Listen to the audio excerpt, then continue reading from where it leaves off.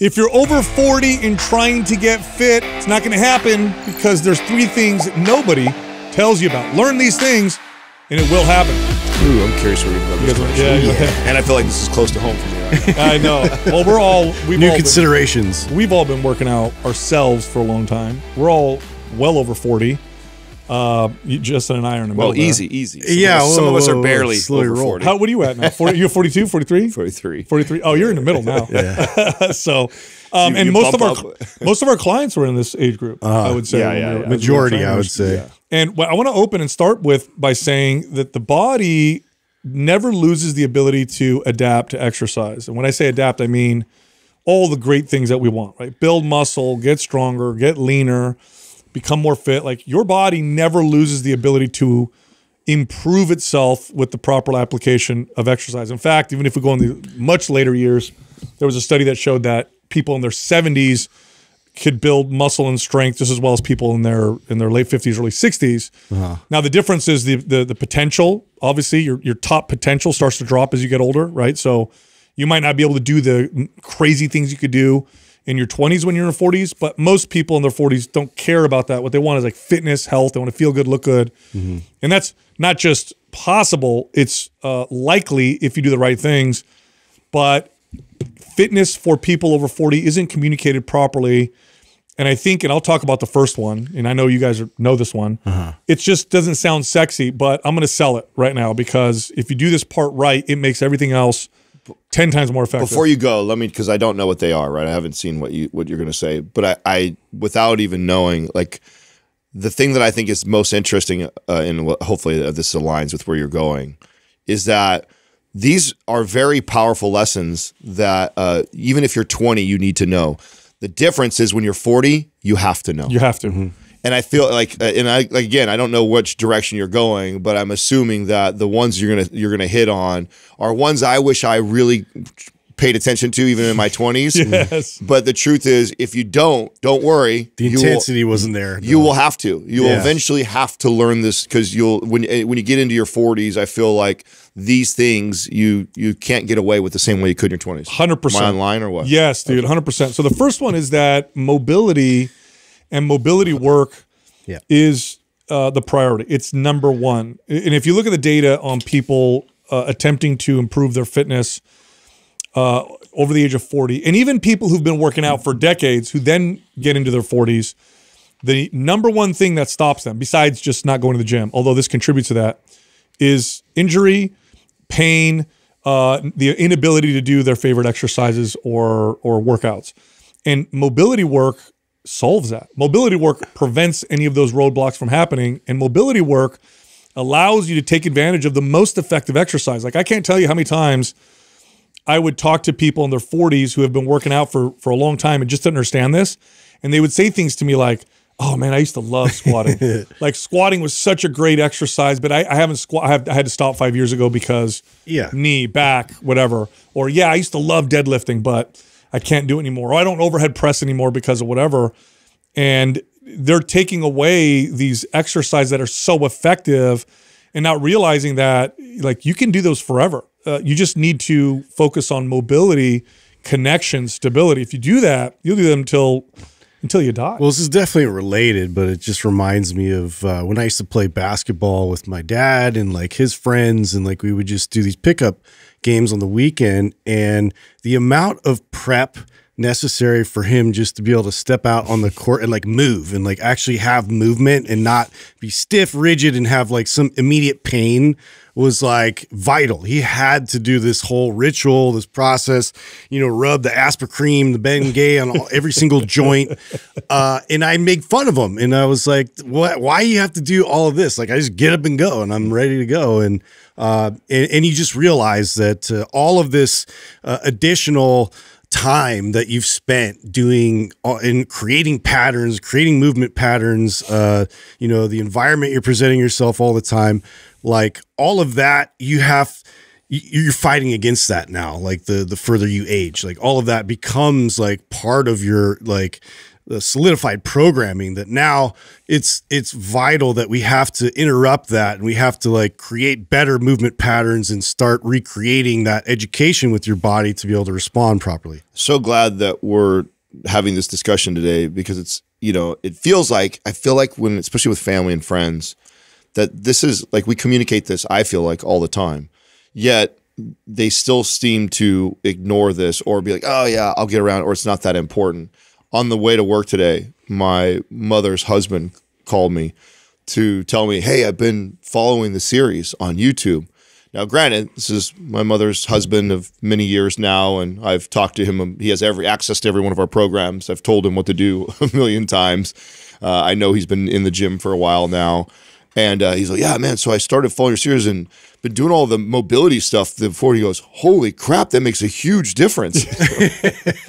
I'm like, Yeah. "Wow, really?" But I wish I wish you I wish I would have told you. yeah, I know. It's like this so crazy to me because I feel like I know I've definitely communicated that like thoroughly to him, but it's like he needed to see me do it. Mm-hmm. He needed something so basic just to follow. Like I'll just do the same things he's doing, and then right away sees the translation in his movement and his workout. Like, holy crap, that makes a huge difference. And it's more. It's more than. by the way, I want really to. Be, does. I want to be clear. It's more than just a proper warm up. So people think mobility. Oh, I have to have a good warm up. And the reason why I have to good have to a good warm up is because I'm older now. Right. So my body's more stiff, and I don't recover as fast, and et cetera, et cetera, et cetera. No, no, no, no. That's not. That's not. That's true, but that's not what I'm talking about. What I'm talking about is when you're over 40 you've had a longer time uh, on the in the world to move in ways that are not optimal. And even if it's slightly off optimal if you do that for 20 years then things start to become a problem.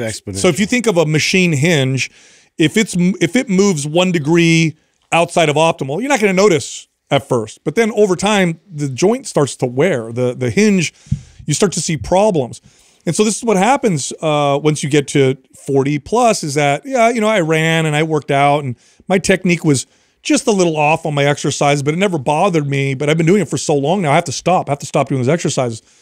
Mobility work fixes that, maintains good technique, good control, maintains good connection, and you get better results. And the reason why, Adam, you, you know this, why people ignore that advice is they don't realize that mobility helps with fat loss and muscle gain. Yeah. They think, oh, mobility is if I hurt, but I want to do all this other stuff that builds muscle and burn body fat. 100%. They think it's like a waste of time or it's not going to contribute to their main goal. It it mm-hmm. it's the most important thing that contributes Yeah. to your main goal. It makes all the workouts, all the exercises Yeah. that are effective more effective. And of course, of course, it prevents the massive roadblock of potential injury and pain. So when you're over 40, the emphasis has to be on proper mobility, priming, dynamic warm-ups, full range of motion exercise, slow, uh, uh, you know, uh, tempo and technique and con- connection over the amount of weight you, you you you move, for example. So mobility really is just an umbrella term that encompasses an emphasis on movement. That's it. So when I am doing an exercise that I can do, if my if I'm over 40 and I'm like, okay, mobility is super important, well, here I can add 10 pounds to the bar, or I can go down a little deeper and get better connection, or I can hold the weight at the top and stabilize my core, or I can slow down the tempo a little bit and make the technique that much more perfect. That's what we mean by mobility. It's this it's this emphasis on movement, and if you emphasize movement, you're going to get way better results. Fat loss, muscle ba- muscle gain across the board. I guess you could also talk about the benefit of aging in terms of like really understanding your body and, and realizing which exercises move you move the needle the most and, and which to kind of prioritize, which ones might be a little more high risk, which ones might be a little less risk, but like give you more benefit to it.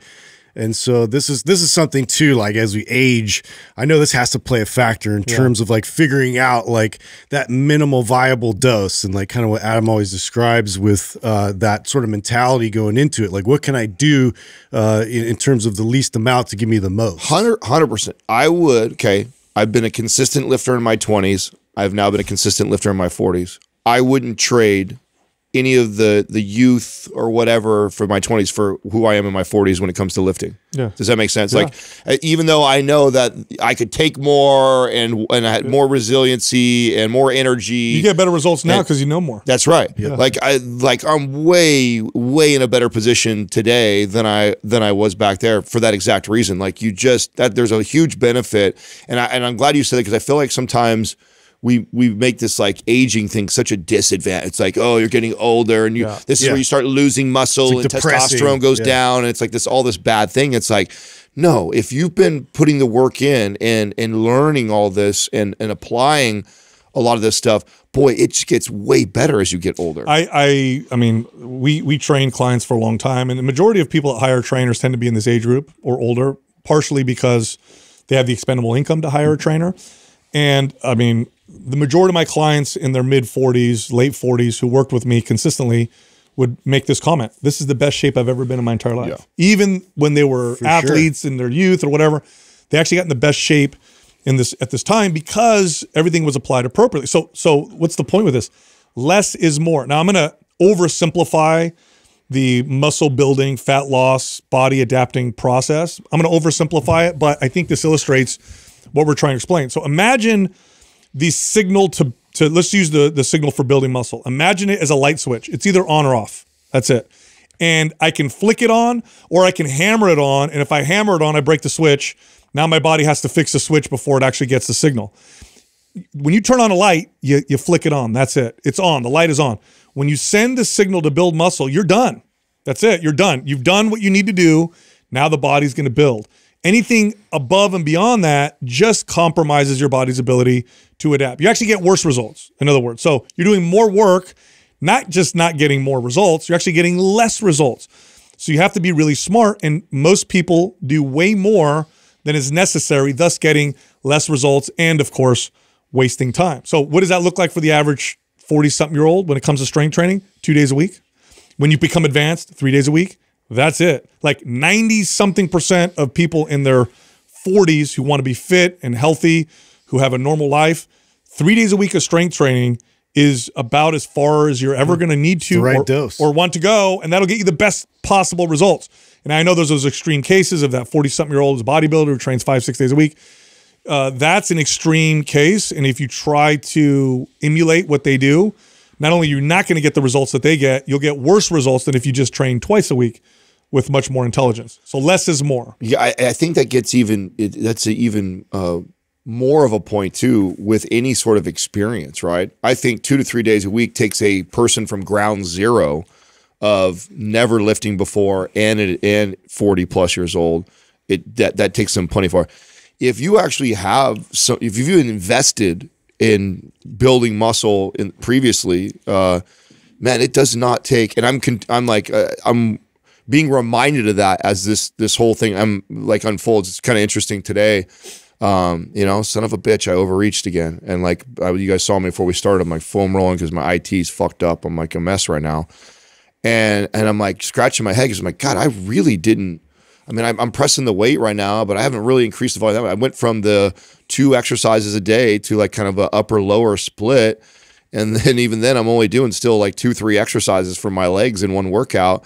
It's not crazy, but it's like, oh my God, I still over overreached. I still would have been better off kind of keeping it slow with the two day a week. And it's like, it's it's interesting to me uh, that I'm still learning this lesson uh, now. Like it's like wow, it's it's unbel- and I don't know why. Like I'm in this hurry to do more because the progress. Obviously, the progression I've been seeing is incredible.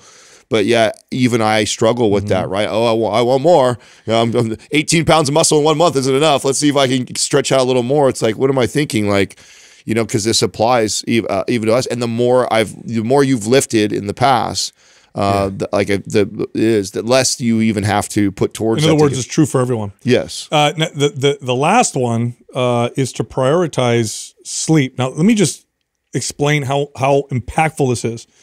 If you took the typical out of shape, deconditioned, you know, seventy percent, eighty percent processed food diet, forty six year old, and all you did was fix their sleep. All you did was give them optimal sleep, where they're sleeping eight hours, deep sleep, good stages of sleep, the whole deal, right? If you just did that, here's what you would see fat loss, strength gain, and better behaviors, less cravings, better mood, just from sleep. That's how powerful this is. Uh, and, and now people don't tend to focus on sleep until it's so bad that it, it, it messes everything up. So typically, when someone says, "Hey, I need to work on my sleep," it's because they're getting horrible sleep. Yeah, yeah. sleep. Yeah. But what people don't realize is if you get by with okay sleep, so like you're okay, you just need caffeine, and yeah, I'm a little groggy, whatever. You take that person and you optimize their sleep, profound benefits. Now, of course, if you're so sleep deprived that you just feel like you're a zombie, yeah, you're already prioritizing this. But to most people listening right now, if you're like, yeah, I'm okay, you know, I need coffee in the morning, and yeah, I wake up a couple times, whatever, not a big deal. Oh no, no, optimize your sleep. Watch what happens to your gains. And there's, by the way, there's lots of studies on this. One of my favorites they took groups of people, controlled their calories and everything, put them on a calorie restricted diet. Everything was the same. One group got great sleep, the other group got not so great sleep. The not so great sleep group lost half the body fat and also lost more muscle. In other words, everything was the same except the sleep, hmm. and yet they got half the results. This is a big deal. And I can't tell you how many times with clients, we would just fix this one thing right here, and all the other pieces would fall into place. You have to explain too, though, Sal, like how this actually gets exacerbated too, based off of other factors too. Meaning, like it's our it's getting bad sleep is already a gain killer already, right? And the study points that out. But then you add in the other things that people do in common: miss protein intake, way undereat their calories, way overtrain on volume and intensity. So that sleep already matters in the context of a good diet, uh, good programming, balanced intensity volume, hitting protein intake. But that that gets exacerbated when you also don't do those things, which is the common person. So so I was trying to communicate that in my series about having a bad night's sleep, and I'm like, listen, if I had one night of bad sleep and I was scheduled to come work out, uh, not that big of a deal, so long as I hit my protein intake, I balance my intensity into that workout a little bit and the volume of it. But when you, and then I'm also eating in a caloric surplus, so I have plenty of calories. But flip that, take that same scenario. Oh, I missed my protein intake. I'm low, ca- I'm low calorie, and I'm going to get after my workout. Now that becomes a whole different situation. So it's like sleep alone makes this big of a difference. But what people don't really realize too is like, oh, like kind of a bad night of sleep with low protein, with calorie deficit, with overapplying intensity workout now becomes a disaster. And this is what I think a lot of people don't realize. they're Imagine doing. this picture, right? Like you, you're you're doing a few things that aren't so great for your health and fitness. So that's a fire. Now, poor sleep. You just you got bad sleep. You just literally poured a bunch of gasoline on it. That's what it does. It makes things Yeah, that we're aren't trying great- to put it out. You're it- it- exaggerating it- everything. oh, exaggerating it be above and beyond what it would have normally been. In other words, if it's at a five and then you add poor sleep to it, it now became a 20. Like not like a six, like it became a 20 because it all it affects your tolerance so much. And it also affects your behaviors. Like simply getting good sleep leads to better eating behaviors. It leads to more consistency with your workouts. It leads to better technique. In fact, the greatest factor, the, the one factor that is going to predict injury in a workout more than anything else is poor sleep. They did studies on this where it's like they, they, they did warm up, no warm up, priming, no priming, exercise, good form, bad form. The one thing that predicted injury more than any, anything else, actually doubled the risk of injury, was poor sleep. So it's that big of a deal. Dysfunction comes in. And again, it doesn't sound sexy unless you're like so bad asleep that you feel like a zombie. If you're just like, whatever, I just want to burn body fat, build muscle. Like, this is why the fitness space doesn't talk about it. This is why the industry doesn't talk about it because it's not sexy. But I'm telling you right now, when it comes to muscle gain and fat loss, almost nothing will impact your ability to do those things like your sleep. And just going from okay to great sleep makes a huge Well, difference. that's such a huge point because I think most people are in that category, and it's like it's they're not going to address it if it's not this alarming uh, sense that like I'm not getting any sleep, and and it's pretty obvious that like I'm kind of walking throughout the day like a zombie, and um, you know it's something I I need to address this. But like if you have that sort of okay sleep where we're maybe let's say you're you're missing like an hour and this just over time like it just keeps adding up it keeps adding up um, to to the point where now you know it's it's you're tolerating it and Mm-hmm. and you're just kind of moving your way through. But if you adjust and you all of a sudden now you gain that extra hour of sleep, what that does to you know reset your hormones to to get Oh, your energy everything. to yeah everything. Uh, it it it maximizes all your efforts. Totally, totally. Hey, sorry to interrupt. Look, I have a free guide that teaches you how to lose fat in three steps, just three steps that will burn the most amount of body fat and help keep it off. This guide is totally free. We're giving it to everybody right now. If you want it, click on the link at the top of the description below. All right, back to the show. All right, so I'm going to change directions here. Did you guys see the new data on birth order? Firstborn versus lastborn versus There's oh, data in regards new- to what? There's new data. So Adam, you'll like this. Justin and Doug won't like this too much. so pretty I'll have a counter argument. Pretty, pretty consistently. Now, of course, it's not true for everybody, Hmm. but this is just trends, is data. just just a Objective majority, numbers. Just just a majority. nice Firstborns setup. know everything. Nice setup, by in the their way. own mind. I think they know that Yeah. they're not going to like this. Uh, the firstborns consistently have a higher IQ than the second, third, and definitely the, the written last. and reported I by can firstborn. I, I, confirm, I can confirm this. Yeah. Yeah. well, there's some theories around this, by the way. Yeah, yeah. What's the thought? What is the theory of why that is? Like, what, how does order have anything to do with that? And is that something? So is is is is IQ something that Yeah, uh, is that is in socially influenced? It obviously Yes. is if that's the case they're trying to make, right? It's not like something you're born with that IQ. You are There's both. There's Okay, genetic, okay, and then there's that. So there's two are two theories as to why. One is the na- so nature versus nurture, right? So one is the nurture argument, which is, well, mom had much more undivided attention and could focus on this one child, and they could you know communicate to them. They don't, they weren't so busy. Like if you have three kids, the third one, you're busy, right? So you can't spend as much time on them. Um, so there's that. Then yeah. there's then there's also the nature argument, which is that the it's and you see this more pronounced when there's when there's small age gaps. So when it's like mom has one kid, a year later has another one, a year later has another one. yeah. It's like it's it, it her body becomes um her, her the nutrients that she delivers to the baby uh become hampered because it's such a, a demanding process. Oh, interesting. It doesn't give her a full time to like fully Correct. recover and come Because when you see a larger gap, then you start to see less of that. So it's it's both they believe that are playing a role in that uh, the the the undivided attention and then you know oh, I should apologize to my sister. Then. not getting but I'm you sorry. took all I'm sorry, sis. you took all the nutrients. You Took all of it. That's so like funny. the uh, uh, Hey. Dan- Danny DeVito Arnold Schwarzenegger theory. Yeah, You know how that happened? Like, yeah. He got the good genes. Yeah, yeah.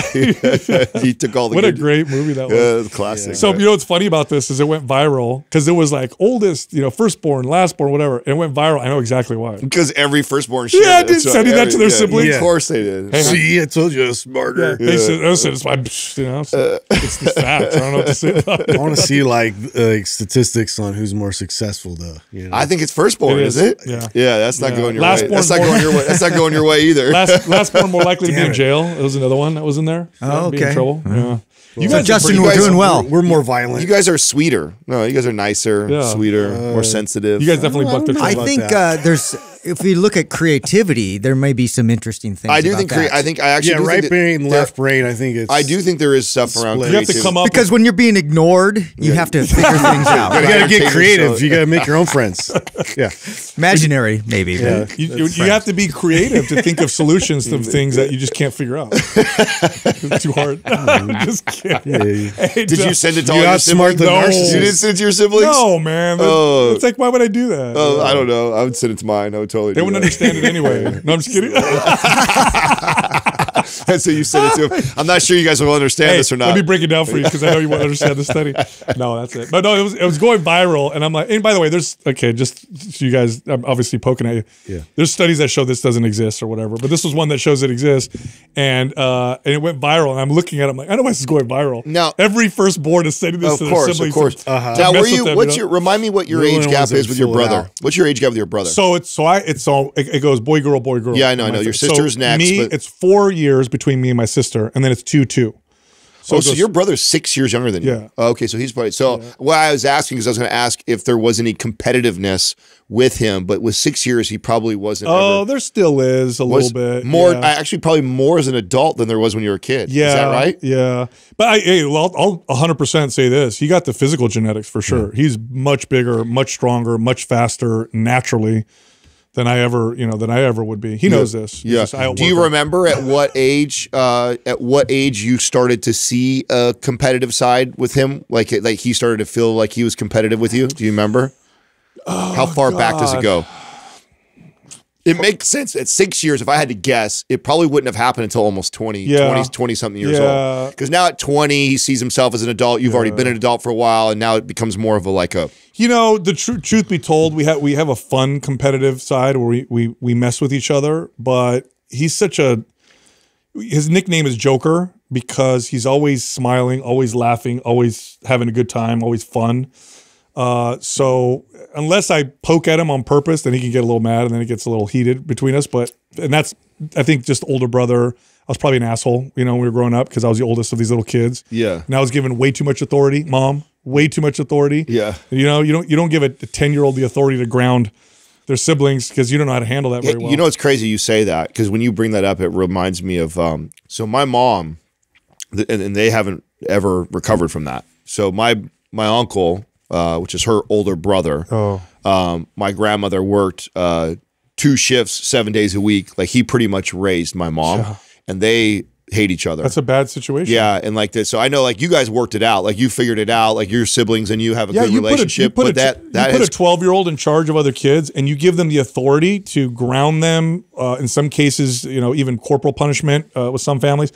Like a 12 year old doesn't know how to handle that. So you end up becoming a tyrant. Or, Yeah, and it, and it's wild because it when I hear my mom communicate, it's like she cannot, she can't get past it. Still, Yeah. I mean, to this day, she's sixty something years old, and she Trauma. still sees exactly. She still sees him as this oppressive older brother who hated her and punished her for all these reasons, and he got to do whatever he wanted and was this bad kid. And it's like really, and obviously my grandmother's mistake, right, of like empowering him to be that way, and then it's unfortunate because even today they haven't been able to Hmm. mend that from from childhood. back in the day, that's how it was, though, huh? You have nine kids. Super common. How uh, you like you have to have. Well, yeah, or- Delegate. yeah. yeah, I mean, and, and in my grandmother's defense, I mean, what do you do? She's working two shifts a day, seven Yeah, days a week, a single woman raising raising two kids by herself. what was she supposed to do? Right? It was the it was like the only option, and so it's it's unfortunate though because how how detrimental. Doug, what's the distance uh, years between you and your brother? Six years.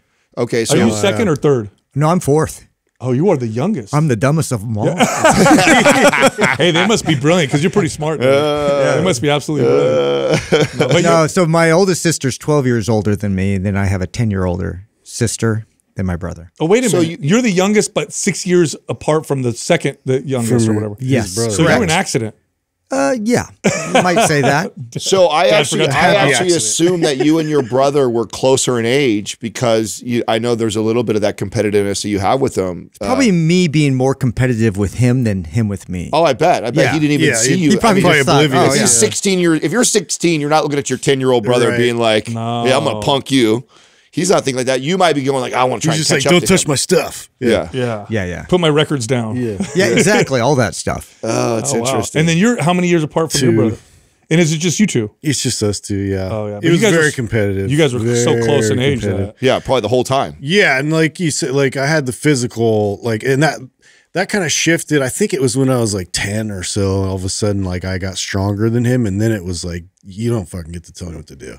It And was, then- that was it. the, Wow. the, the power, the power, The power, the power shifted like real fast. Yeah. I had a cousin like that, dude. He was older than me, and he would punk me when I was little.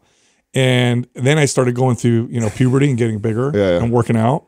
And I remember there was like one time when he tried to punk me, and I was like, "Oh, this is the last time you're going to do that." And I, mm-hmm. I fought back. That's funny. Oh, that was it. After have- that, he have a- ignored I have a- me. I have a same what a wonderful feeling that was. yeah, yeah. You know what I mean? Because when you're a kid and someone's bullying you, you're like, you dream That about was my cousin uh-huh. too. I had a cousin that all through like junior high, even early years of high school, was always fucking with me and stuff like that. And then like back half of high school, and then definitely afterwards was way way bigger than that. Fixed that real quick. Yeah. Uh-huh. so, older older kids be cool with the younger ones. Yeah. they grow up to kick your ass. it was all right though. It was like we had that kind of moment, and there was a lot of like f- like physical fight stuff. We got through that, and then we became friends. And then I was like, it was I was in a weird position because it was like high school. I was always looking out for him because like he was getting punked because he hmm. was on the dorky side of the the the fence and looked a lot like Screech, you know, from Saved by the Bell, and like people used to punk him for that, and I'm like, shut the fuck up, you know, like, and so I was always sort of like looking out for him, and then getting in fights with guys way older than me, uh, and getting my ass kicked, but it was like. I don't know. It was it was it was a weird. It was a different dynamic than I think most people would would think. my my best friend who you guys know of his his little brother was that so they he was two years younger than him. Mm. And it was so funny because my my buddy and my, we didn't get into a lot of fights but he was my best friend was just kind of chill passive not like looking to do stuff like that. You you know easily somebody can talk shit to him and he would just be like oh it's okay no big deal. But his little brother, two years younger, was just a spitfire, always in mm. trouble, always getting in fights. And so he would bring him along to parties and stuff like that. And he always, if somebody like talked shit, even just stared at my buddy, you know, throwing his little brother, would come- hypervigilant Yes, his little brother come running over and just punch a guy out of Oh, nowhere, yeah. and then I went through a phase of that. Yeah. Yeah, it got to a point where I actually had tell him, bro, you can't bring your brother with our go to our parties, dude. We can't because I don't know what he's gonna do. I don't know him and his friends are gonna fight our You'd have friends. to you'd have to connect Yeah. him with a girl, get him out of the way. yes, You'd yeah, to that was the, that's always that's the, like the, the high diffuser. school formula, right? Yeah, get him, get him, get him hooked up. It'll be all right. My brother was just he, he's just like a, he's a kind of happy-go-lucky kid, but as he started to get older, when I started managing gyms, so I'm let's see, 18, so he's 12, 12 or 13, right? So he's a kid. He'd come in to work out, and I would call. I'll never forget what was his name. I had this trainer that worked for me, this jacked like bodybuilder trainer. Can't remember his name right now, black dude. I can't remember his name. And uh, big guy. And I remember my brother comes in to work out. He's a skinny 13 year old kid, you know. And he's like, "Oh, is that your brother?" Because we look alike. I'm like, Yeah. "Yeah, yeah." And he goes and works out. And I'm like, "I bet you my brother can beat you in arm wrestling." He started laughing because he's a skinny 13 year old. So I called him over, I paged my brother. My brother beat him in arm wrestling for the whole staff. Oh, it was God. so yeah. A little- There was a period of time. time. What, how old were you guys? Because there was a period of time when uh, when I first met you or seen you, like at the company, and then I'd see your brother, and I thought you guys were the same person.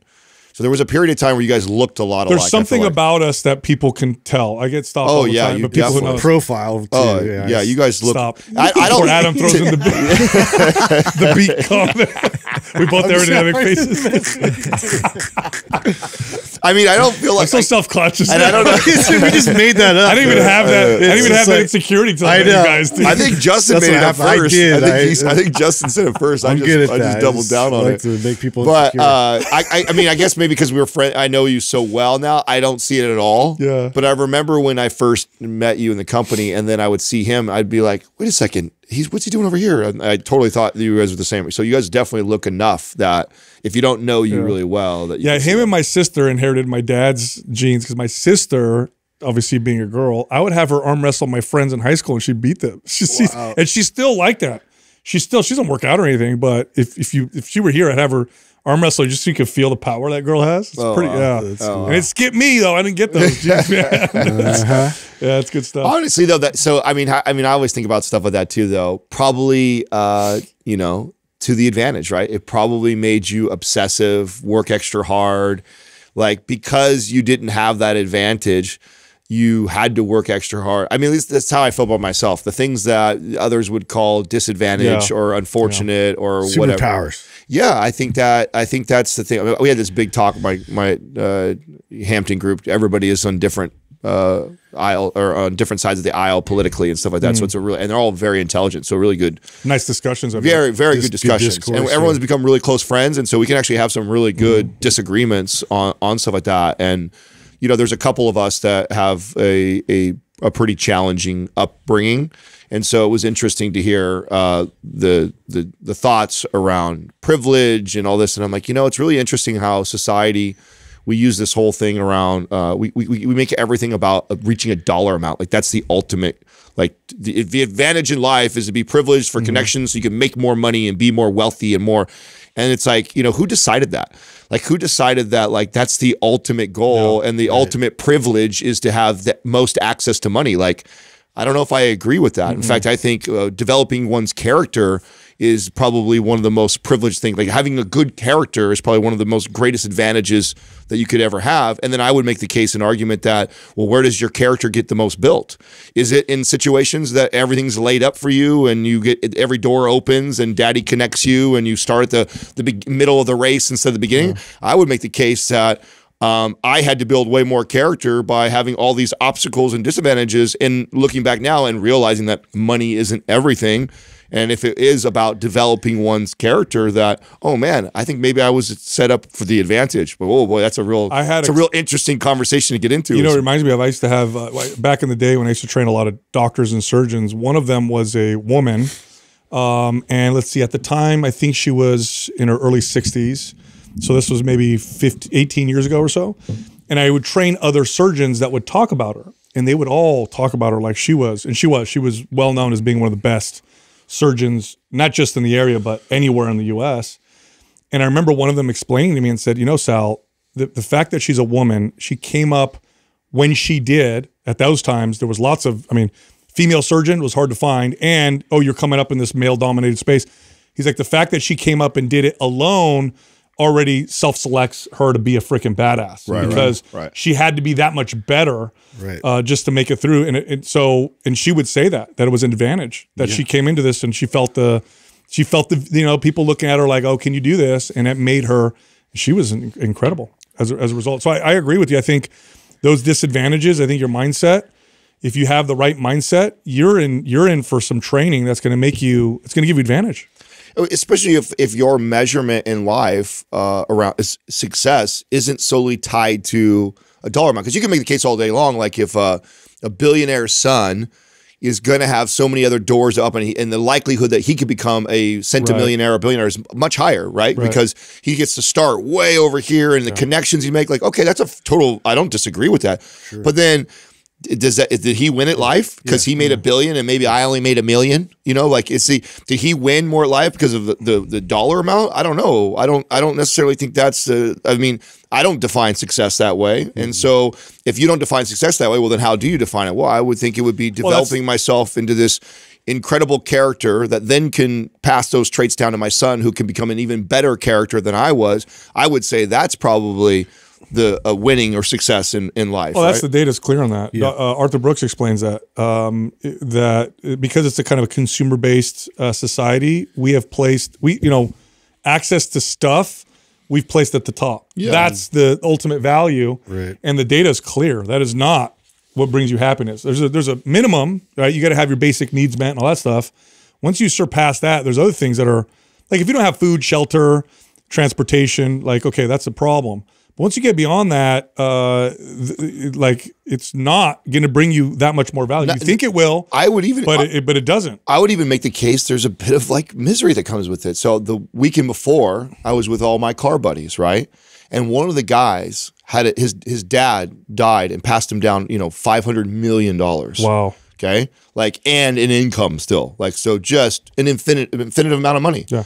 And this dude has every car you could think of, every new crazy hyper car that comes out that's millions of dollars. He's got them on order at all times. He's got five cars coming, and just like doesn't even look like he really cares or enjoys it. It's like he's constantly he needs that uh, the new. adre- And I think to myself like, wow, like I have such an appreciation of of my little cars because of how hard I work to get to that. Like it's and I it, it's like a You different. know what like, that reminds me of? I feel like he's been robbed of that that uh, something Oh, that I get to have, and it's like he has way more than me. Bro, though. imagine playing a video game and you don't go through all the levels or whatever. You go to the facade. end. You go to the end credits. You won. Yeah. You just turn it on. You won. End credits. This sucks. Yeah. This game sucks. I don't care. Like it doesn't. it That, doesn't that's mean what I'm, that's my point is Yeah, that like half of also attached to it. is the struggle of the I can't and I'm reaching and I'm driving towards something and then it and it took a long time to get there and then I finally get a, a taste a little bit of it it's like whoa do I appreciate it and whoa do am I so like happy and grateful for it versus the kid who has way ahead and got the windfall and it's just like I actually feel bad for him yet he has way more than me but I feel bad for him because he doesn't have the same appreciation and love for the things that he has and so it's That's a- why they show children from wealthy parents that do well. It's because their parents have them go out and volunteer a lot. Mm-hmm. That's the thing that they do. Uh, they have to go out and volunteer and do To work. truly appreciate yes, where they're and at. then they do better.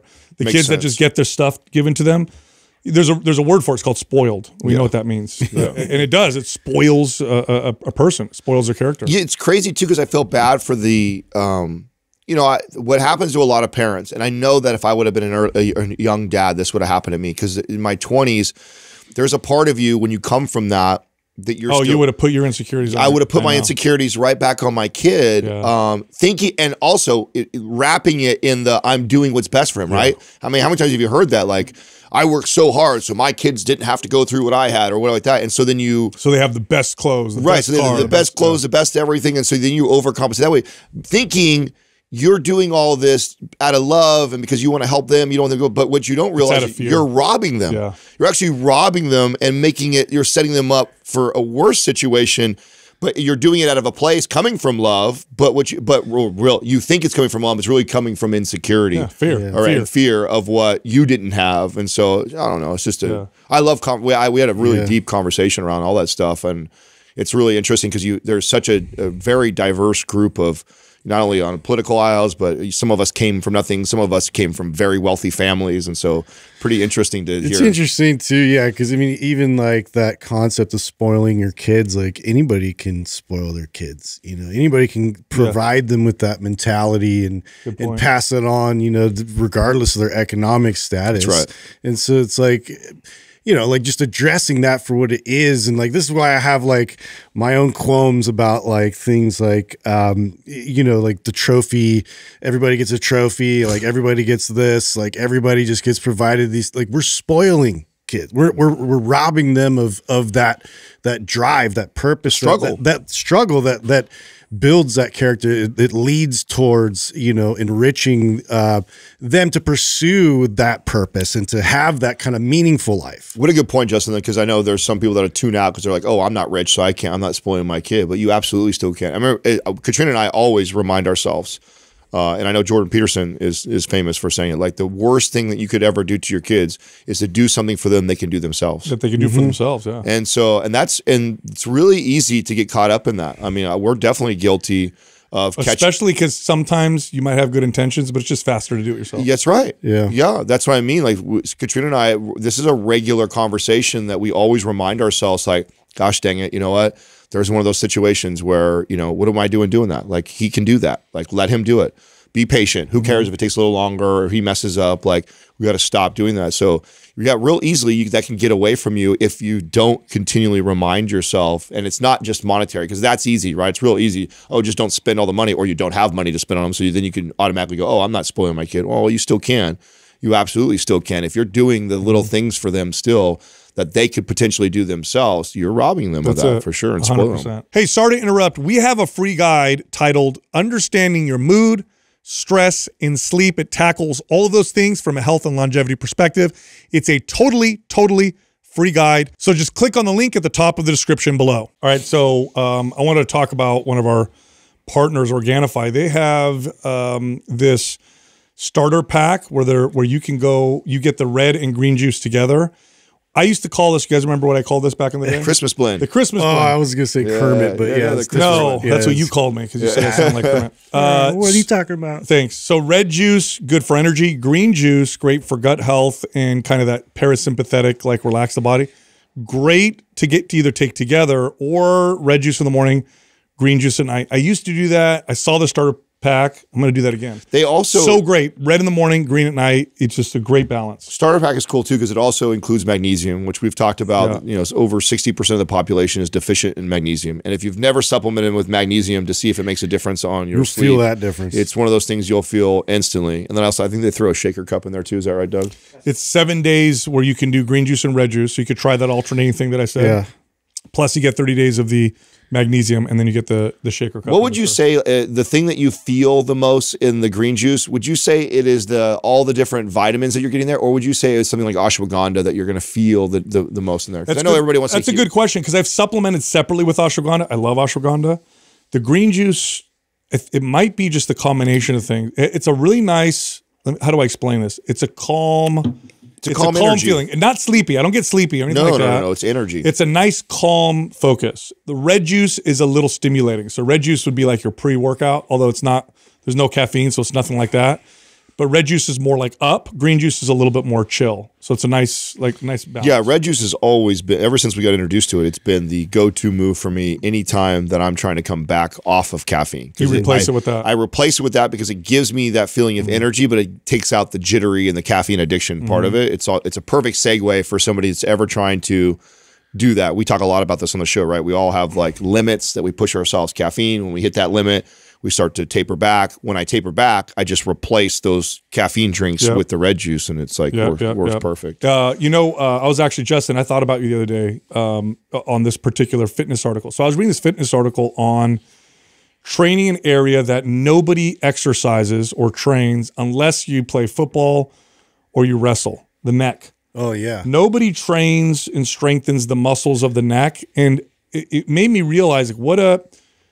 I, I think it's important to strengthen the entire body. I don't think you need to necessarily train your neck like a football player or wrestler, but having a strong neck, especially if you work a desk job, can contribute quite a bit to that that spinal stability, uh, especially up here in the in the cervical area. Sure. Prevent neck neck pain, Neck, upper back pain. upper yeah. back pain, all that stuff. I was, I, in fact, the article. You know who they highlighted in the article? Mike Tyson. Mi- okay, so Mike Oh. Tyson used to the do 300 Yeah. every day neck bridges, forward and back.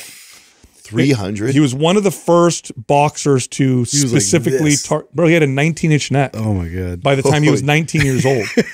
now boxers I didn't figured. know it was that big. Oh yeah, dude, pull up uh, Mike Tyson neck training. There's a picture of his neck, and they, they put a tape measure around it. yeah, he's he was a beast. the uh, boxers started to figure out to train their neck because it made it harder to knock them out because Mm-hmm. it just stabilized the head. Football players, of course, you guys were the first ones you wear heavy Right. ass helmet. Yeah, and that that was part of it is just wearing the helmet and the constant load there. But but two, I mean, we would do isometrics Yes. and and partner drills like that too, where we'd push against so like overcoming isometrics and um and I found it very helpful. And it, it- yes, it, it I mean, it was crucial because of the concussion and the the potential like impingements and things that we would uh, experience with that. But like for your average person, I mean, it's huge and it, it is totally overlooked. Yeah, there he is, right there, doing it. Now he learned. This is a wrestler uh, exercise that he would do. Yeah. So, So- th- this makes for a perfect transition to something that I had been meaning to bring up to you guys, and I had forgot about it. Um, in mine for a little bit different reason, but I've been thinking about just the the posture in kids, you know, with Yeah. iPhones and iPads and the forward head like crazy.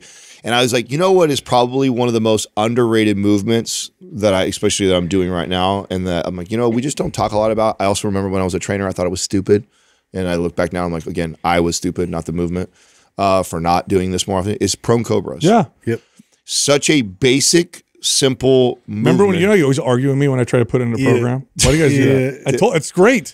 Every time I, try to put it in argue a for program. Cobra? It's yeah, like I'm always like prone cobra. You guys make fun of me. Anti everyday stress uh, or everyday posture movement. It It's is excellent. It, it's it's just so underrated for what everybody should be doing on a regular and basis. everybody can do it. Yeah. it's like one of those movements that's It's like valuable. the antidote to yeah, like everyday stress. especially the rotation of the, of the, of the Yes. hands and the yes, Yeah, and it's pull, great. pulling pulling back and down the scapula like well, so that. I mean, and- back and to the, neck head, exercise. The 'cause- neck, yes, back. I think neck exercise. Here's here's why a lot of people don't do neck. First off, it, uh, I think it's funny when you're a bodybuilder and you have a pencil neck. Sometimes I see that, and it's silly to me. It, looks is. weird to me. Look like a little bobblehead. But besides that, I think people can some they don't think about training their neck, but women in particular are afraid of getting this massive neck. Don't worry about it. Just like other body parts, it's not going to happen, but it will strengthen the neck and alleviate oftentimes tension headaches and Mm-hmm. neck pain. And no, no, we never train that area. So upper back, we train that, we strengthen that. Neck has to be a part of it because you look at like the forward head. What are, what are these called? Sternocleidomastoid muscles, yeah. tight and weak uh, extenders here at the back of the neck, and so strengthening those really will help with that posture. And talk about like a man. We, we've talked about this before. Like how many times you guys have had a client who you know needs to lose weight and and and then they have poor posture, and then you just put them in good posture.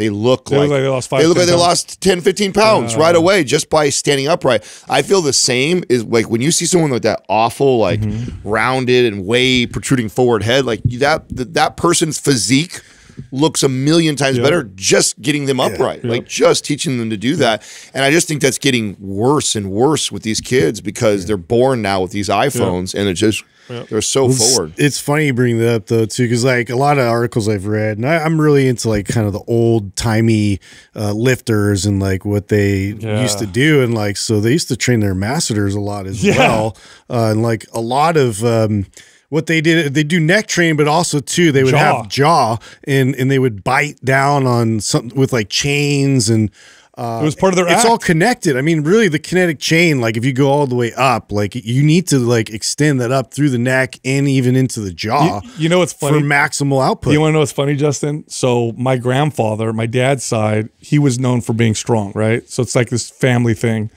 And they have this old chair that they got rid of finally. But when I was a kid, I went there. They showed me this chair. It had these bite marks on the back. My grandfather used to impress his friends Oh, by lifting this chair with his teeth.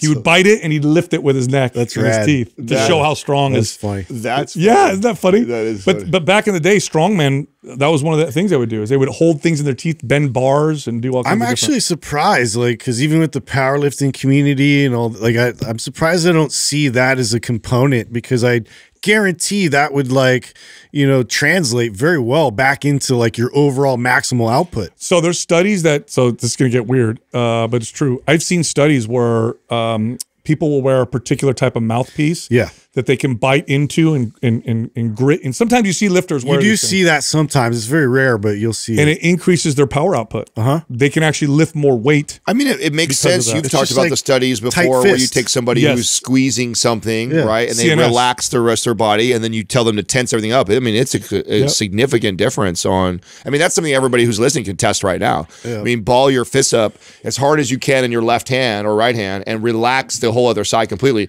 and then tense it up, and then f- Both give you more Yeah, power. and then watch how much more power you get. You know, know. huge difference. I was going to ask you, Adam. Um, you stopped the GLP one a few weeks ago. Yeah. Have you noticed any changes in your skin? Because you noticed that when you're on it, your psoriasis had come way down. Is any of it coming back? So interesting you brought that up. Um, all the way up until just a week ago, I would have said no, no difference. But um, I'm back in. I'm, I'm running a mini bulk right now, and now that I'm in a surplus, Oh. I start. I, I I had my first couple flare. In fact, it's been really nice. It's mm-hmm. been almost God, how many months now? Three, four months. I was just thinking about this. It's funny you brought this up because I had my first moment of like, oh wow. I went to itch it, and I'm like, I hadn't itched my psoriasis in four months. And I, and I went, what? And then I went, oh wow. Well, two things. One, I've had alcohol in the last like Mm-hmm. Okay. couple weeks, last two weeks. I've drank alcohol, and in addition to that, I've been in a calorie surplus. And now all of a sudden, I feel it. I Now, luckily, it's not bad, and uh, you know, and when that happens for me now, like I mean, I'm just uh, Caldera is my go-to. Like that's using something natural that I can just rub on there real easy. Like so it's it that right away tamps it down, and then I'm fine. And then obviously the but the diet is first. Like it's not like Have you I mean, tried removing dairy? Because I'm wondering if dairy is mildly inflammatory to you. I And mean- in a surplus, your gut starts to get a little so permeable. that, so that's potential, right? But it doesn't dairy doesn't bother me definitely in a deficit or a maintenance. So maybe in, I I mean this is what's so interesting and why I This think is it- how this is. By the way, this is a good conversation. for People understand when you, you, the, things can bother you sometimes, not always, and that's both true. So in a surplus, you could be causing a little gut inflammation, Right. a little more spacing, just exaggerate in the a gaps. little bit Then you more. get something that eh, mildly annoying uh, or irritating to the body. You can't really tell. Now becomes more. So this is was always my point around the GLP one. Like I never thought that the GLP one had something magical in it.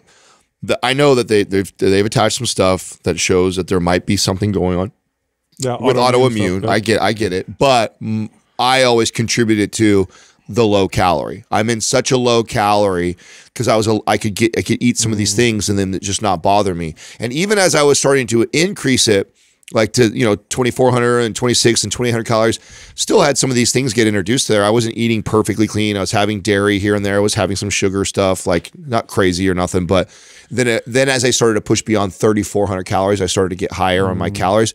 Then all of a sudden I, I noticed that. And then i and all, then so and in, and calorie surplus uh, by itself isn't enough to uh, cause the problem. A calorie surplus with these foods like alcohol or sugar, uh, like or Yeah. uh, or dairy, seem to flare it up a little bit. Um, so it'll be uh, like interesting. I'm gonna go roll back to a mini cut real soon So, here. so back to the Caldera for people like, what's that? So Caldera is I use the is a- serum, by the way. It's a serum. It's like a skin oil, but the way that it's formulated is it's designed to balance out the macrobi- microbiome on the skin. Uh, it also it also works with your body's natural uh, ways of healing. So oily skin, dry skin, you know, regardless of the kind of skin you have, the serum balances things out. So you know, we'll get messages from people oily skin that love it. I have oily skin, I love it. People with dry skin, Justin's more on the dry side, he loves it. Um, so it's it's not a synthetic product. It's the and the botanicals in there do that. They balance out. I obviously I, I when I travel, I always travel with all of it too. So it's always with me, or it's here at the studio. Like I, everywhere I go, I have it for that exact reason. Um, and when I, my Hampton Group buddies, one of the guys had psoriasis, and so I actually gave him my bottles and introduced it to him, and he was like super impressed with like, oh wow, this Wow. is great. He thought it had something in. it. I'm like, no, that's the beauty of this. Now Is, like, that's not an official thing from Caldera, everybody. So it's not supposed to be. Oh for- yeah, yeah. No, I can't claim. you that's your own personal experience, or Yeah, whatever. it's It's, like- just for skin. in Probably not supposed to use it on my feet either, but that's a big one No, for I me. think you can. Yeah, well, I use it like on my heels, especially. It crack all the time, Oh. and it's been yeah making an impact there. Yeah, anywhere sure. where there, I mean, that's what Yeah. psoriasis. You have this kind of scabby, dry Yeah. skin area, and that's really like it's not healing it. I'm not claiming there's any properties No, it's in just it. experience with it. It's just it, what I noticed, and if I wasn't doing that, I was doing those like cortisone cream stuff. Yeah, you you know, do that. and that's not. I know that's not ideal, and. I was noticing the same or better benefits with just the Caldera, and I know that's all natural stuff, Mm-hmm. and so I'm like, um, that just has become my go-to. It's like I don't even use any of my original stuff from the dermatologist. I'm like, I'd way rather use something Two like that. times now, if, when I'm at the gym, when I go to the, the the country club one where I'm showering and I'm in the you know afterwards I'm putting stuff. Two times, separate times, has happened. Like some guys like, "Hey, what are you doing? You have really good skin." I'm like, "Oh, cool. That's never happened to me before. It's happened two separate times." Can I touch it? No, Yeah. no, no. You can't. I mean, you notice it right away, so that's what's kind of cool. And the bottle, by the way, lasts a really long time. So Yeah, two drops. One of the other guys that you, so there was a couple of these guys that, that I was with. That one the other guy already uses it, but he uses it just for his skin. And he's like, man, he's like, at first I was like, that's kind of expensive, but then when I bought the bottle, I didn't realize how long that it lasts. I'm like, yeah, I know. I thought I said I thought the exact same thing when we officially started working with him. I'm like, damn, that's pretty expensive. You're gonna have to find a guy who really cares about his skin to spend that kind of money. But then you realize, like, oh shit, like this stuff really two goes. drops, Oh yeah, it goes a really long way. So. Do we have a shout out? I do. Uh, I want to shout out um, our buddy Brad Jensen, who we're about to interview right now. So the sober bodybuilder, he's got great content. Um, you know, he's he's part of our circle of friends that um, you know uh, were recovering addicts and have like turned their life around for a really long time and have done a lot of really good stuff. He's got really good content. He's been a, a big fan of us and the show for a long time. And uh, this will be the first time that he comes on our show. So if you're not already following him, he's, he's on Instagram. He's the sober bodybuilder. Paleovalley has the best tasting protein powder I've ever had in my entire life. It's their chocolate bone broth. It tastes like chocolate donuts. By the way, this uh, protein is super easy to digest. If you can't have dairy, if other protein powders make you feel bloated, whatever, this will feel like water. It's high quality collagen, protein, bone broth, chocolate. And right now, if you buy one, you get one for free. Go to paleovalley.com forward slash mind pump. All right, back to the show. First question is from Amelia Hartline. How do you gauge appropriate workout intensity? I never get sore, but I have a feeling my workouts are too intense as I have overtraining symptoms. How do you gauge the appropriate dose because I'm scared to, of doing too little? Yeah, this is a great question. Is it possible to do too little? Yeah, I was gonna say start by doing less than what you just did. Yeah. Yeah, I mean, you can. I mean, if you if you keep doing what you're doing, which may be nothing, then yeah, nothing will change. But Yeah, more yeah. than that, yeah. But I mean, like, We'll okay, so so one of the things I think this is so important, and uh, and I love when we first shared this study. It was because it was it was even mind blowing for me, even though I knew this, not to this extent, was the amount of training volume you need to keep your Mm-hmm. current gains is like one seventh. yeah. So let's pretend you Even the best studies show one third. Right, That's so- as, that's the the ones that show the most. So if you trained every day for one hour, so seven days a week, and you're at your body's at a certain point right now, you literally could train one day for one hour to maintain that. Yeah. To put that in perspective. Yeah. So you backing off a few exercises in a workout every time you work out. uh, or more, or cutting it in half, is not going to make you atrophy or go back the other way. If anything, it potentially is going to get closer to the appropriate dose, and you might see yourself go the other direction. So the so the hard thing with intensity is trying to quantify it. Well, first off, how do you quantify intensity? There's either I do an exercise till I can't move anymore, or I do nothing. How do I quantify all that's in the middle? How do I know if it's appropriate? And, and there's lots of people that have tried to do this, and I think the most, in my experience, the most accurate way to decide this for yourself because uh, this is also a moving target what may be appropriate intensity today may be too much tomorrow maybe you know less than appropriate the day after depending on sleep and mood and your diet and your age and because your life changes you change. You're different every single day. You're definitely different every month or every year. So how do i gauge this? This is a good question. In, in my experience the best way to do this is the following. Number one do I feel better at the end of my workout than I did at the beginning?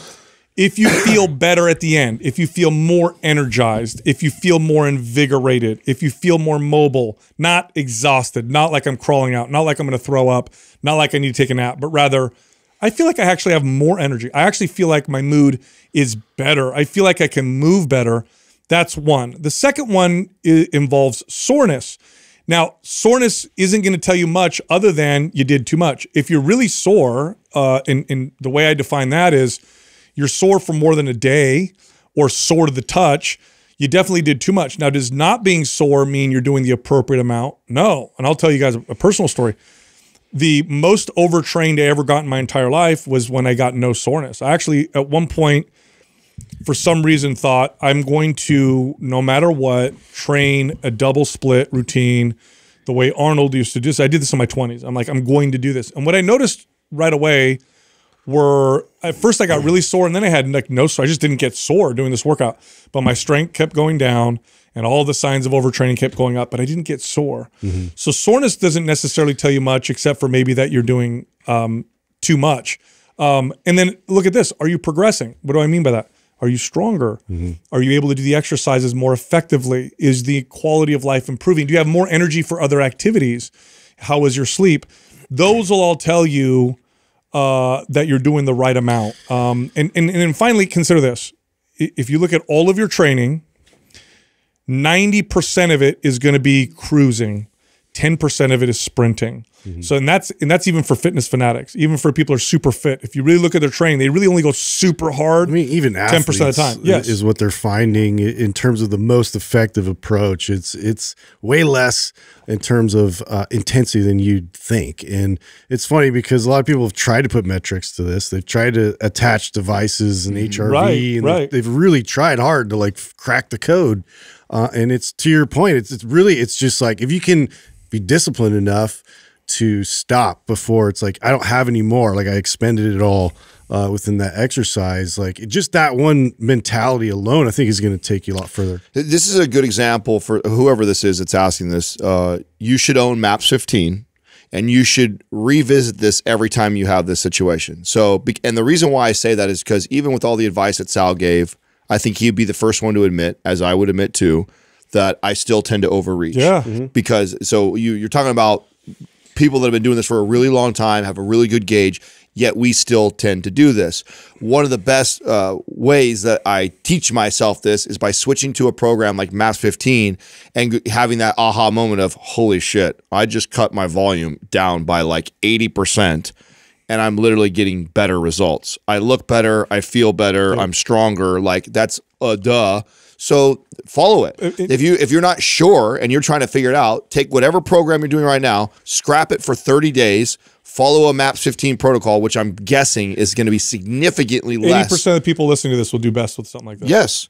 And I and I bet you you see at the bare minimum you don't go backwards. I bet you see progress with a significantly less volume. And that's give, will give you the gauge of how much were you actually overtraining. And to go a little deeper into this, like you know, the, the the reason why overdoing it is so common. There's a lot of reasons why. Uh, insecurity. I, if I'm getting good results, I'll get better results or whatever. But even when you're a fitness fanatic like we are, and is you know physic, you know, fitness maturity like we have, here's what happens to us. I said you want to have more energy at the end of the workout than you did when you get started. Well, here's what it feels like when you're working out. You start the workout and you start to feel good. Then you start to feel great. Then I feel amazing and I want to keep chasing this feeling. But what ends up happening is go beyond it. And then I start to get tired of, oh, okay, I overdid it. So you, you want to end your workout when you feel your best. And that requires a little bit of discipline. But if you do that, you're going to continue to progress at a nice, consistent pace versus overdoing it because the appropriate intensity, the appropriate volume will get you the fastest results. More than that doesn't get you faster results. It actually gets you slower results. So this is actually an important question, especially if you're driven uh, by the progress you make in the gym. Next question is from Chelsea Bird. As a 30 plus year old female, how realistic is it to achieve and maintain a low enough body fat percentage that showcases abs, leg muscles, defined shoulders, and maintain a healthy hormone profile? Is this possible to maintain without tracking? Unlikely. Uh, so unlikely. Yeah. So there's a body fat. Uh, we all know that too much body fat is unhealthy because that's much more common, right? Obesity is much more common. But too little body fat for too long is also oftentimes unhealthy. Problematic. And especially for women, especially for women. When women walk around in the teens of body fat, especially lower, for too long, um, you almost always see hormone profile disruption. You almost always see uh, fluctuations uh, in their menstrual cycles. You start to see uh, issues with uh, hot, cold intolerance, sleep issues, libido. Most women, fit women, uh, do well maintaining somewhere between 18 to even as high as 24%. And I'm talking about women who are really consistent with the workouts. You can still be very healthy and be like 27%, 28% body fat. But if you're like a fitness fanatic, you want to hover in that 18 to like 23% maybe body fat percentage. You start to get lower than that and you stay that way, almost always you see problems. There's also a, gen- a genetic component too. That okay, so uh, Katrina maintains a very low body fat percentage pretty much year round, um, and looks really good, but you don't see her abs.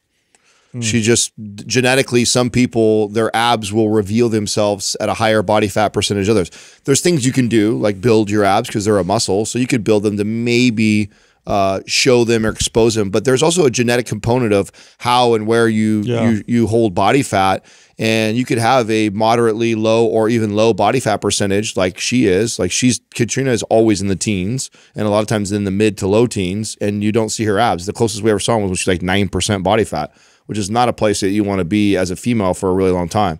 So to be shredded to where you see definition in your shoulders and legs uh, for an extended period of time or maintaining, probably not a good place for 95% because there's also the there are examples, right? Uh, you see these girls on CrossFit sometimes that look like this. Like that is more to do with their genetics. Like that. That It's also performance and not health. Yeah. And also not long term, right? Yeah. It's like maximum yeah, I'd like performance. to see how they did long term, you know, maintain. and they Yeah. none of them have their period. You know, all of them have hormone profile disruption. Uh, most likely. I mean, when I train female athletes, it's misleading. I would train female athletes who come to me 15, 16% body fat and they'd struggle getting pregnant. You know how they, you know how they would get pregnant?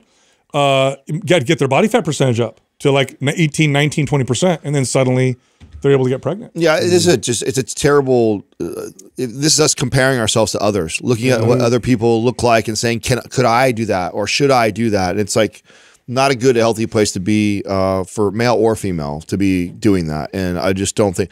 Uh, uh, the interesting to me too, not that this person's reason for having abs is for the opposite sex by anybody, but I personally don't like blocky abs on a chick. I just don't think that's attractive. I just uh, not that like again, my opinion matters but I don't know where this came from. This idea of like that's a that's a good look. Like I don't think that looks sexy by any means. A girl that's shredded, shoulders separated. Well, it's the same thing for guys, right? You get super shredded and jacked and 99% of the time it's a guy that comments. Like, Look, you know? Yeah, again, Especially yeah, a lot, lot of women will comment and they'll probably get you know a good boost uh, uh, from Yeah. that kind of response. But yeah, it's I think uh, I think there's just like that idea of like I could do this, like it's like some goal or target, but it, I don't think realize like you know when you live in that like what that's going to do hormonally and and to your body's health. And also, when you look at the happiness associated with health and fitness, because it's very strongly connected, right?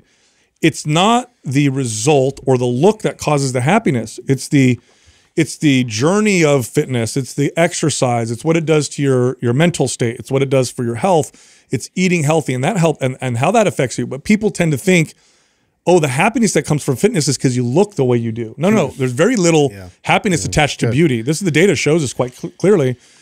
It's rather it's the it's the journey along the way that causes that happiness.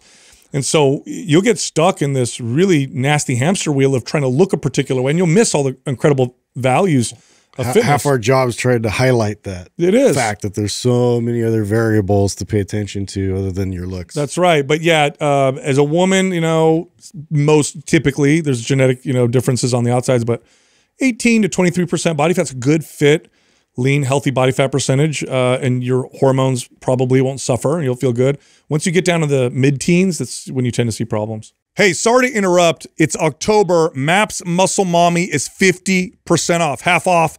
If you're interested, click on the link below. All right, back to the show. Next question is from Arky Drums. Are there any pros or cons for lifting low reps and heavy weight for 5 to 8 reps and mid weight for 10 to 12 reps in the same workout in a push pull leg split? No, no, hmm. there is, there's really no. Oh, I would. I, I can give you some cons. I can give you some cons. There's. I well, think aside from the in terms of like repeatable metrics. Yeah, that's the one. Yeah, Yeah, yeah. that's I mean, I just the reason why. I, yeah, that's a con to me. Yeah, you're and, right. And and uh, and I definitely can speak to this because this kind of was the way I used to train. I used to the entire workout was a, a blend of all this. Mm-hmm. I had one exercise I would go really heavy on. Another one I would superset high reps. Another one would be like hypertrophy eight to twelve. And every workout I was switching up and changing up which ones and what I was doing. And this was back when I used to think of the the most important thing was muscle confusion, and I thought the way of muscle confusion worked was confusing the muscles by doing something different all the time, right? And thinking that that was a better way. There's uh, the, what's hard is when you when you run a program where you're changing reps on different muscle groups and different exercises, and you're changing that frequently in your workout.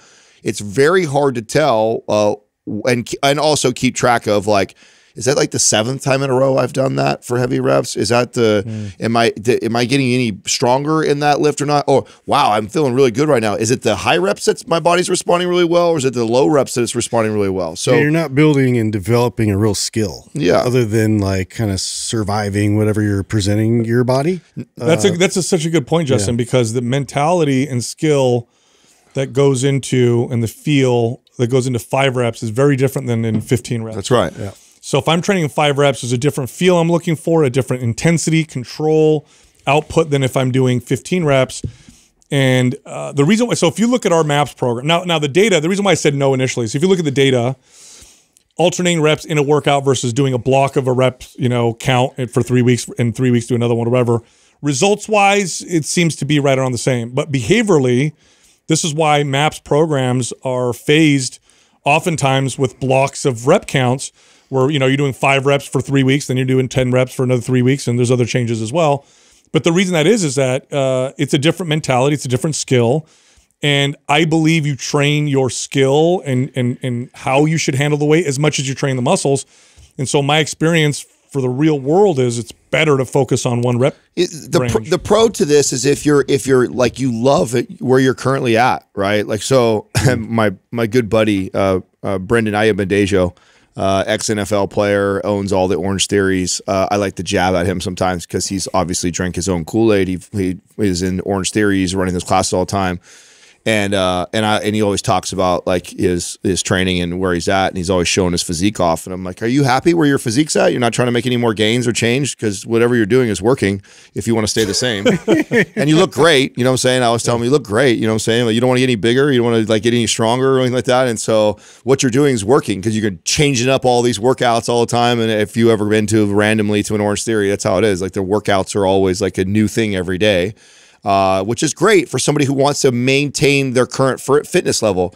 But if you are programming to make change, like or body composition change, or to get stronger, right, uh, to increase muscle endurance, whatever your desired outcome, if you actually are applying this workout to see significant change in your body, you're far better off having a more methodical approach to how you structure your training blocks and how long you stay with the rep range and how long your rest period and manipulating that over the periods of time.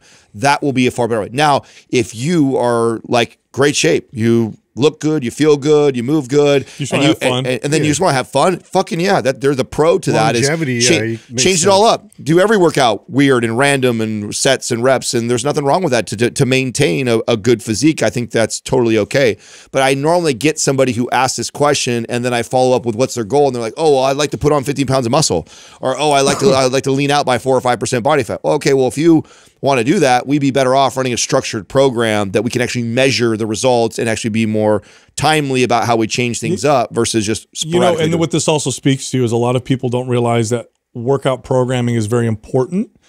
And so when you don't realize that, rep counts are interchangeable. It's just a mm-hmm. means to an end. Exercises, they're just body parts that we're training. So this one works the same body part as that one. It's not that big of a deal. Mm-hmm. Exercise order doesn't matter. Tempo doesn't matter. It's all working out. No, no, it all matters. And when you program properly, if you look at really good, you know, programming with strength training in particular, it tends to follow in blocks. It tends to follow in phases, and that's just because it works better. It just works better that way. Next question is from G. Snyder. What are your thoughts on pausing the use of a GP, GLP 1 for a couple weeks to do a mini bulk and then get back on the GLP 1? My calories have dropped really low, and I'm wondering if interrupting the large deficit with little bulk would keep me right on So track. I, we, we're not a doctor. We exactly. That is- we have to say we're not a doctor. We, we cannot recommend dosage of GLP ones, when to use it, how much to use it, when to stop, or any of that stuff. But I think what's important about this question to address is the challenge that people are going to run into with GLP ones and how important it is to understand that Set yourself up. you just drop your calories real low for whatever reason. Either you willed it to happen or a GLP 1 took your appetite away. Okay.